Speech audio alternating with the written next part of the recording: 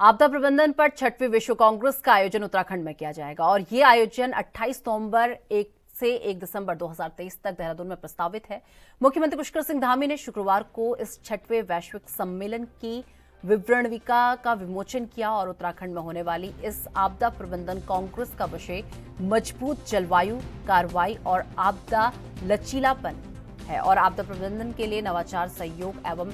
संचार पर इस विश्व कांग्रेस में प्रमुखता से चिंतन एवं मंथन होगा। और इस विश्व कांग्रेस में पर्वतीय परिस्थितिकी एवं संचार पर जो है विशेष रूप से फोकस किया जाएगा। और मुख्यमंत्री पुष्कर सिंह धामी ने कहा कि उत्तराखंड में